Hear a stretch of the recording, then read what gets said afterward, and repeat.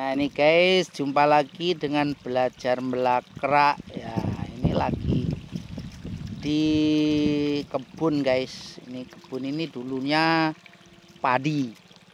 Padi Pak nggih. Nah, nun sewu namanya sin Pak. Bapaknya Lupi. Pak, Bapaknya Lupi. bapaknya Lubi. Ya, ini beliau ini dari Bujo Bojonegoro nggih.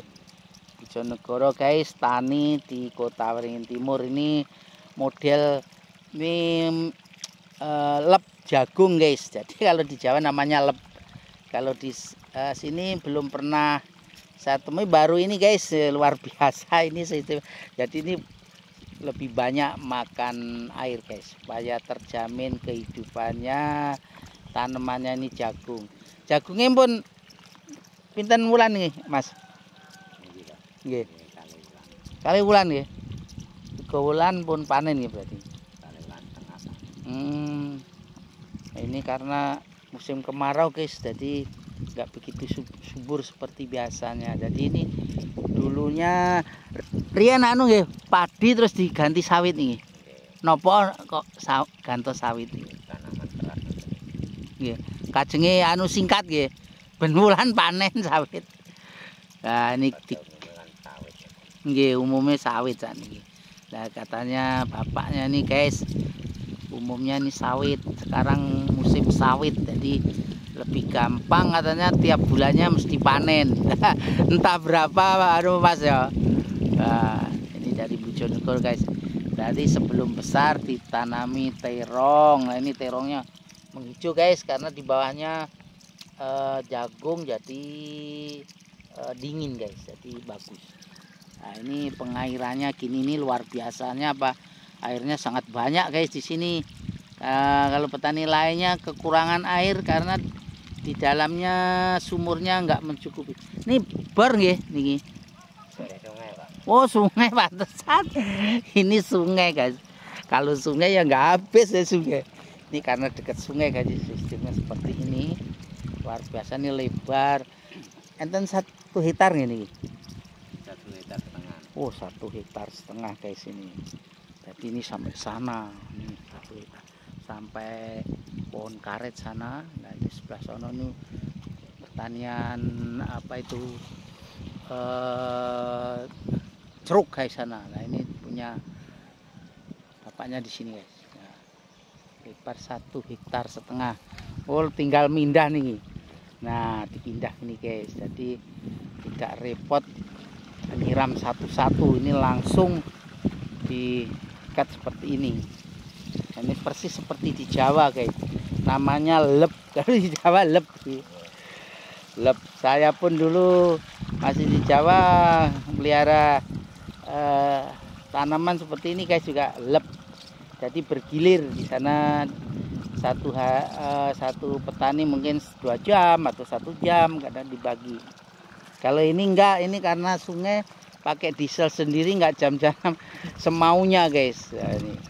Nah, ini nih saya menemukan di Kota Waringin Timur baru kali ini langsung dilep seperti ini guys. Nah ini sama Mas Nani eh, luar biasa guys. Ini tanah ini di tepi jalan raya guys. Jadi itu jalan raya. Masuknya enggak jauh. Tanahnya ya lumayan ada harganya guys. Nggak main-main ini harganya. Karena tanah subur karena bagus. Jadi tanam tanamannya eh, ini jagung sama terong. Di sela-sela sawit sawitnya belum besar. Nah ini guys. Sawitnya umur pinten tahun ini mas? Berapa tahun Pak? satu tahun. Oh satu tahun guys sudah besar sudah belajar ada bunganya guys sudah. Sawitnya Wih bagus sawitnya nih. Satu tahun ya bunga jenisnya apa nih? Jenisnya? Apa pendek Pak? oh pelepah pendek. Oh lebih cepat dari pelepah pendek. Ternyata nih pelepah pendek guys. Jadi tengah-tengahnya ini bisa saja nih di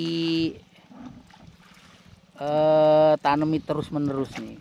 Karena Rupanya pendek jadi tidak sampai uh, satu sama yang sebelah sini akan benturan. Akan ketemu jadi nggak akan ketemu. Jadi bisa aja nih terus dibuat eh, pertanian seperti ini.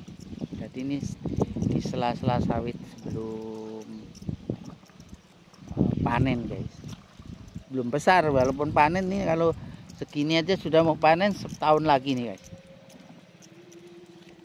ini waktunya buang nih. Nah ini baru di buang seperti itu.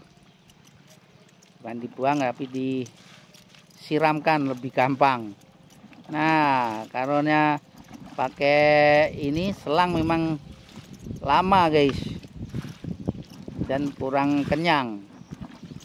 Cepat kering. Kalau ini kan uh, jalannya ini jadi uh, kalen jadi tidak akan kering ya lama. Nah ngambilnya di sana guys dari sungai ternyata. Nah ini yang belum disiram usianya lain lagi. Oh ini dibuat sistem mungkin setiap bulan panen ini. Sebelah sana baru dicangkulin. Jadi ini baru tanam. Nah ini guys yang baru dibajak ini. Oh satu. Memang satu hektar setengah guys. Luar biasa. Sawitnya sudah mulai belajar bunga. Oh, rupanya ini sudah habis panen guys tanam. Panen spesial jagung di sini. Nah ini baru panen langsung jagung lagi sama lombok di sini. Nah ini lomboknya. Ini nggak ada berhentinya nih. Selalu ada terus sana itu ada lanjarannya lain lagi situ bekas pare di guys biasa satu hektar setengah selalu panen ini tapi tiap bulan. Jagungnya sini jadi satu bulan depan sono lagi guys. Ini kalau barat sana dekat Tran Bapiang namanya guys kecamatan MP Ketawang kota kota Waringin Timur. Jadi ini dulunya memang sawah saya tahu eh, diganti beralih sawit seperti ini. Sawitnya belum panen ditanam sela-selanya. Yaitu bermacam-macam. Ada lombok jagung terong. Nah, ini. Luar biasa guys. Nah ini kalau dekat sungai seperti ini. Pengairannya dilep kayak gini memang lebih puas akar-akarnya akan mengarah ke bawah sini guys. Jadi akan sangat subur bagus guys. Jadi tidak ini tidak akan gagal panen tetap uh, akan ada hasilnya guys. Nah ini guys yang enggak dipakai digulung nih sebelah sono nanti ini. Ini sudah mungkin kemarin nih guys. Jadi uh, mungkin bergilir. Ini masih basah uh, bawahnya. Ini yang pakai kocor mungkin kewalahan jadi nggak jadi pakai ini. Nah, seperti ini. Ini yang sudah kemarin-kemarin masih tahan tanahnya masih basah kayak sini. Oh memang itu efek dari cara lep seperti Jawa. Jadi berani banyak buang bensin guys. Tapi e, kesuburan sangat terjaga. Karena air melimpah bisa tahan guys. Tapi banyak guys satu hektar setengah nih. Bertahannya bensinnya inilah ini e, penyemaiannya masih nggak ada apa-apanya karena sangat panas guys di sini memang. Uh, jadi panasnya sampai 23 derajat biasa sampai 32 derajat guys panas di sini. Itulah yang membuat uh, pertanian banyak yang gagal kalau kekurangan air di sini guys. Nah ini simpan pupuknya di sini. Nah, ini pupuk guys sama obat-obatan di dalamnya Oke, video sampai di sini dulu. Uh, sampai jumpa lagi uh, melihat perkembangan yang ada pada hari-hari berikutnya.